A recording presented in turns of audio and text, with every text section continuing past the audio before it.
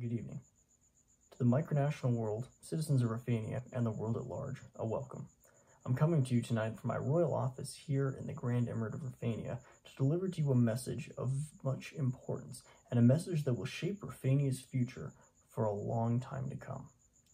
Now, as many people know, for the longest time now, Raphania has been using the national anthem of the state of Kuwait instrumentalized, and while a fine piece of music, I believe it does not truly capture the spirit of our great nation.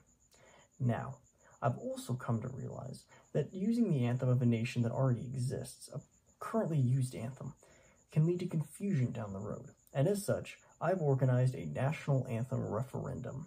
This anthem includes five options, the five finalists chosen by the Royal Council, and we are allowing the people of Raphania to vote, to vote to choose their new instrumental anthem, while we await the completion of our 100% from scratch commission piece. This anthem referendum can be accessed by a Google document which will be linked in the description of this video and on MicroWiki as well as our website.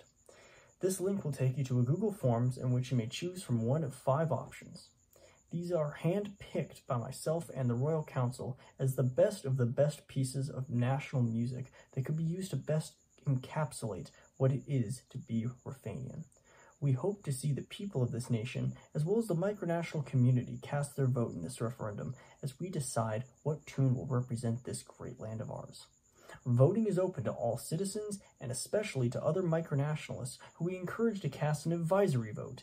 This advisory vote will help us to better decide where the community stands with such things.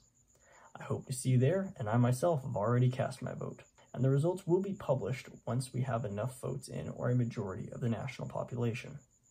Thank you for listening, and have a good rest of your night.